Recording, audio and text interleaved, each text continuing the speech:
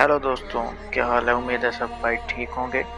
तो वीडियो शुरू करने से पहले बता दूँ कि ये वीडियो अली बाबा ड्रामे के मतलब है। कि उसमें जैसा कि आप जानते हैं कि जब वो ड्रामा शुरू हुआ था तो उसमें हमने एक रोल देखा था अली बाबा में, जो थे शेजान अली। और, फिर कुछ एक्सीडेंट के बाद उन्हें उस ड्रामे से निकाल दिया गया था और उनकी जगह फिर अभिषेक निगम को लिया गया था।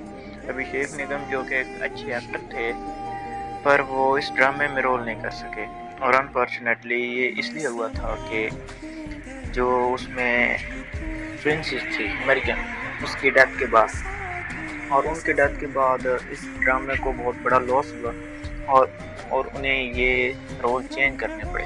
और इस वजह से बहुत सी चेंजेस की गई, जैसा कि उन्होंने कुछ करेक्टर चेंज भी किए। और अली बाबा के रोल जो कर रहे थे शेजान खान, उनको जेल लेकिन अब कुछ कुछ दिनों से ये महसूस किया जा रहा है कि वो दोबारा इस दोबारा इस ड्रामे में आएँगे और वो ही वो ही अपना रोल प्ले करेंगे।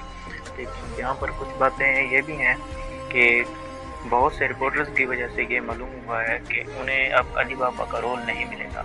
और आप दोस्तों ये बताएँ कि इन्हें रोल अब कौन सा मिलेगा? आगे कमेंट में इनबॉक्स में ज़रूर बताइएगा। और अगर ये वीडियो पसंद आए तो लाइक एंड शेयर कमेंट कर दीजिएगा और चैनल को सब्सक्राइब करना ना तो दोस्तों, जैसा कि आपको पता है कि कुछ रोल जैसा कि इमाद और गुलरेज को इस ड्रामे से अभी तक कट आउट किया गया है। और अभिषेक निगम को इस ड्रामे में लिया गया है और अली बाबा का रोल जो शेजान खान परफॉर्म कर रहे थे और उन